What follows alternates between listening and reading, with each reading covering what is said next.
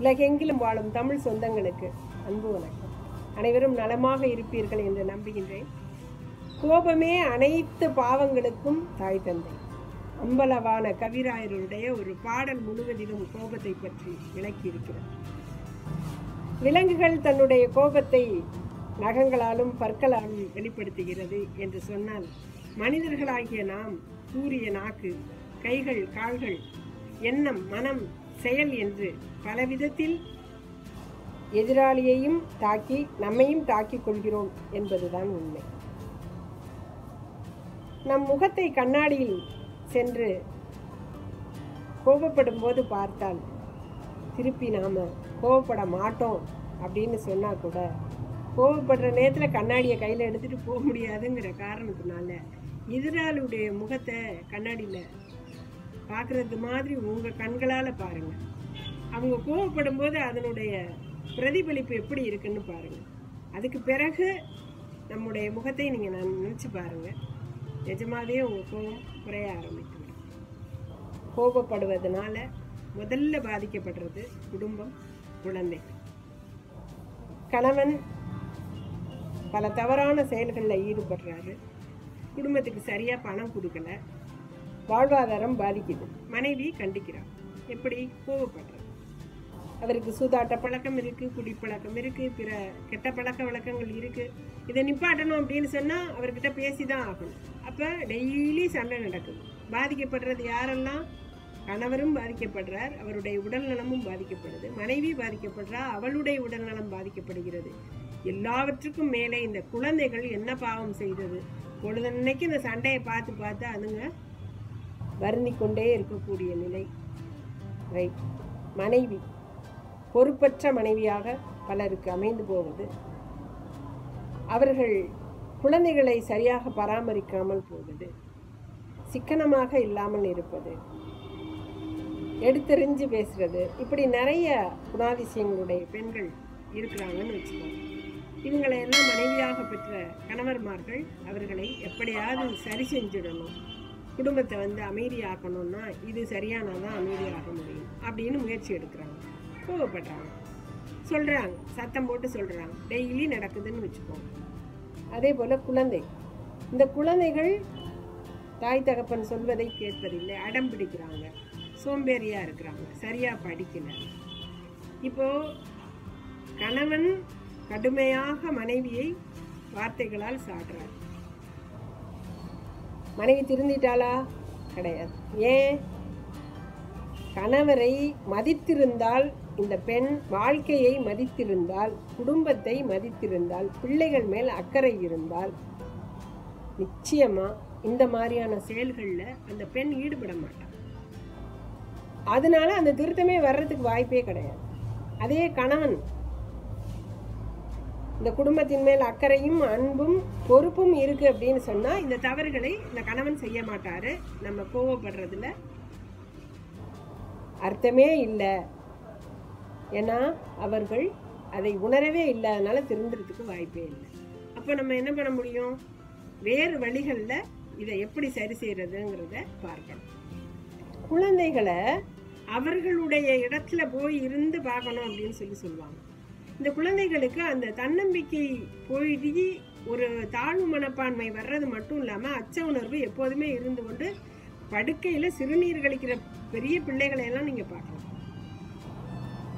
மனதளவில் அவங்க சோர்ந்து போயிடுவாங்க. அவங்களுக்கு ஒரு வாழ்க்கை மேலே நம்பிக்கையே இருக்காது. ஒருவர் மேல் ஒருவருக்கு சந்தேகம் அப்படிங்கிறது அந்த குடும்பத்துக்குள்ள அதுதான் சாப அலையாக பரவிக்கொண்டே இருக்கும். இப்படியான ஒரு சூழல் பல குழந்தைகள் வீட்டை விட்டு ஓடி போகுது தற்கொலை பண்ணிக்குது. பல பெண்கள் மரணத்தை கையில் எடுத்துடுறாங்க. ஆண்களும் அதையே. இது வந்து செயற்கையாக நிகழ்வது. இயற்கையாக நிகழ்றது என்ன நம்ம உடம்புல அப்படின்னு சொன்னால் நம்ம எப்போயெல்லாம் வந்து நம்ம மன அலைச்சூழல் வந்து நார்மலாக வந்து ஃபோர்டீன் டிகிரின்னு வச்சுக்கோ. ஒரு பதினாலு மன அலைச்சூழல். அது அப்படியே நம்ம கோவப்படும் போது என்ன ஆகும் மேலே மேலே மேலே மேலே ரைஸ் ஆகும். இருபதாகும் இருபத்தஞ்சாகும் முப்பதாகும் நாற்பதாகும். அப்படி ஆகும்போது என்ன நடக்கும் அப்படின்னு சொன்னால் உடல் படபடப்பு அதிகமாகுது. இரத்த கொதிப்பு அதிகமாகுது. தொண்டை வறண்டு போகுது. நாக்கு உலர்ந்து போகுது. அப்படியே மேலே போய் அந்த குருதியானது நம்மளுடைய மூளையை தாக்குது. பக்கவாதம் வருது. மாரடைப்பு ஏற்படுகிறது. மரணம் ஏற்படுகிறது. அல்சர் வருது. இத்தனை பிரச்சனைகளை கொண்டு வந்து கொடுக்குறது யார் அப்படின்னு கேட்டால் அந்த கோயில் இது எல்லோருக்கும் வரும். அது மட்டும் இல்லை ஜீவகாந்த விரயம்னு சொல்லுவாங்க. இந்த உடலில் சக்தின்னு ஒன்று இருக்குது. அந்த சக்தி நிலையில் தொய்வு ஏற்பட்டு போயிடும். ஏன்னா அடிக்கடி கோவப்பட்டு கோவப்பட்டு இந்த நர்வஸ் சிஸ்டம் நரம்பு தளர்ச்சி அப்படிங்கிறது இவங்களுக்கு ஈஸியாக வந்து போயிடும். அப்படியே முறுக்கேறி அப்படி நிற்கும் அப்புறமா அப்படியே ஸ்லோ டவுன் ஆகிடுவாங்க சக்தியும் விரயம் அதே நேரத்தில் உடலில் இருக்கக்கூடிய ஏன்னா அதிகமாக ஜீவகாந்த விரயம் எதில் ஏற்படுதுன்னா கோபப்படும் அதே மாதிரி நரம்பு எல்லாமே தளர்ந்து போகக்கூடிய ஒரு நிலை. இதெல்லாம் வந்து நம்ம மனதில் கொண்டு நம்ம கோபப்படணுமா வேண்டாமா? அப்படிங்கிறத நாம தான் தீர்மானிக்கிறோம் கோபத்தினால் வரக்கூடிய நன்மை ஏதுமே இல்லை என்பதுதான் இதிலிருந்து புலனாகிறது. இப்போ எனக்கு ஒரு அவமானம் நேர்ந்ததுங்க அதனால நான் இப்படி செஞ்சேன் அப்படின்னு நம்ம சமாதானம் சொல்லிக்கொள்ள முடியாது. ஒரு மிகப்பெரிய சக்கரவர்த்தி அசோக சக்கரவர்த்தி நம்ம அனைவருக்கும் தெரியும். அவருடைய ராஜ்யத்தில் ஒரு நிகழ்ச்சி நடக்குது. ஒரு முறை அவர் நகர்வனம் போகும்போது ஒரு புத்த பிட்சு எதிர்த்தாப்பில் வந்துட்டுருக்கார். உடனே அந்த தேரை நிறுத்தி கீழே இறங்குறாரு. அவரும் கீழே இறங்குறாரு. அவரை சாஷ்டாங்கமாக வணங்கி வணக்கம் சொல்கிறார் ஆசி பெறுகிறார். அந்த புத்த பிட்சியினுடைய காலில் விழுந்து ஆசி பெறுகிறார். இதை பார்த்துட்டு இருந்த அமைச்சர்களுக்கெல்லாம் பயங்கர கோபம். இவ்வளோ பெரிய மன்னன் சக்கரவர்த்திங்க நீங்கள் நீங்கள் போய் அவங்க காலில் போய் விழுந்துட்டீங்க. அவர் ஒரு சன்னியாசி. எந்த தகுதியுமே அவருக்கு கிடையாது அப்படின்னு இவங்கெல்லாம் ரொம்ப வருத்தமாக சொல்கிறாங்க நீங்கள் வாங்க அரண்மனைக்கு உங்களுக்கு ஒரு வேலை தரேன் அப்படின்னு சொல்றாரு. அழைச்சிட்டு போகிறாரு அரண்மனைக்கு போன உடனே எனக்கு வந்து ஒரு மூன்று தலை வேணும் அப்படின்னு கேட்குறாரு அரசு. என்ன அப்படின்னு அவர் கேட்குறாரு ஒன்று ஆட்டினுடைய தலை இன்னொன்று புலியுடைய தலை மூன்றாவது மனித தலை அப்படின்னு சொல்லி சொல்லுவாங்க ஆட்டோட தலை ஈஸியாக கிடச்சிருது. புலி காட்டுக்குள்ளே போய் வேட்டையாடி அந்த தலையை கொண்டு வர்றாரு. மூன்றாவது சுடுகாட்டுக்கு போய் மனித தலையும் கொண்டு வந்துடுறாரு இந்த மூணையும் கொண்டு போய் விற்பனை செய்துட்டு வரணும் அப்படின்னு சொல்லி சொல்கிறாங்க முதல் தலை ஈஸியாக விற்றுருது ரெண்டாவதும் ஈஸியாக விற்று போயிடுது. மூணாவது தலையை வாங்குவதற்கு அவங்க யாருமே இல்லை. அதை பார்த்தவொன்னே தெரிச்சடித்து மக்கள்லாம் போட ஆரம்பிச்சிடுறாங்க. இந்த தலையை கொண்டுட்டு திருப்பி இங்கே வந்து என்ன செய்கிறதுன்னு தெரியல அப்படின்னு. எப்படியாவது வித்துரு அப்படின்னாக்கா இங்கே இருக்கிற யாருமே வேணாம் வேணான்னே தான் சொல்கிறாங்க அப்போ சக்கரவர்த்தி கேட்குற பாத்தியா? இந்த மனித தலைக்கு என்ன மாதிரியான மதிப்பு இருக்கிறது அப்படின்னு. இந்த தலை இங்கிருந்தால் என்ன அங்கிருந்தால் என்ன அப்படின்னு சொல்லுவார். இது சொன்ன உடனே அவருக்கு அப்படியே அப்போ தான் புரியுது. அதாவது நம்ம சக்கரவர்த்தியாக இருந்தவர் போய் ஒரு சன்னியாசி காலில் விழறதா? எவ்வளோ பெரிய இது அப்படின்னு அந்த ஒரு கெத்து வச்சிருந்ததை வந்து விட்டுட்டாரு அப்படின்னு நம்ம நினச்சது வந்து தவறு அப்படிங்கிறத அவர் புரிந்து கொண்டார்.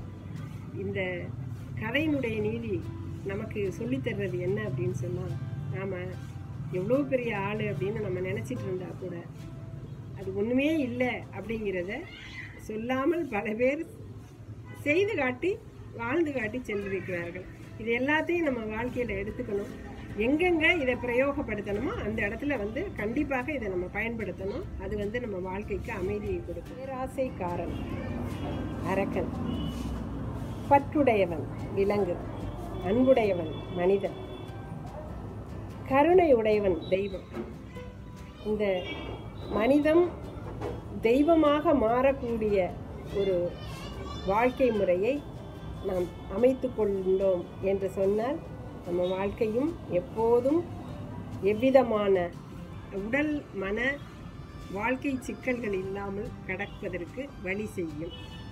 அதுக்கு இந்த கோபம் அப்படிங்கிறத எப்படி நாம் தவிர்த்து கொள்வது அப்படிங்கிற பயிற்சியை பற்றி அடுத்த சிந்தனையில் பார்க்க இருக்கிறோம். அதுவரை உங்களிடமிருந்து விடை பெறுகிறேன் இந்த சிந்தனையை கொஞ்ச நேரம் நீங்களும் இதில் என்ன உண்மை இருக்கிறது என்பதை ஆராய்ச்சி செய்து பாருங்கள். நன்றி.